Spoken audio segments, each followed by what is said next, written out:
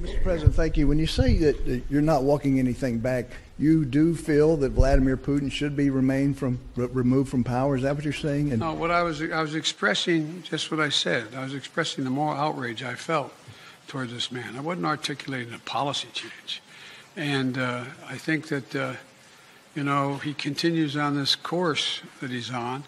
He is going to become a pariah worldwide, and who knows what he come, becomes at home in terms of support. And has weakened NATO? No, it hadn't. NATO has never, ever, ever, ever, ever, ever been as strong as it is today. Never.